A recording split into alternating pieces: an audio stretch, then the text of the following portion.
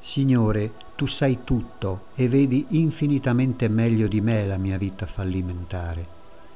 Ti faccio spesso molte promesse per osservare la tua legge diligentemente, ma poi non riesco a mantenerle a causa della mia fragilità. Aiutami a non perdermi nello scoramento. Fa che ogni volta che sono avvolto dalle tenebre del peccato io abbia la forza di riprendere il mio cammino verso la salvezza. Tu permetti le nostre fragilità affinché impariamo a confidare sempre in te. Amore misericordioso, che sei sempre pronto a rimetterci sulla tua via per ottenere la vera vita nella verità.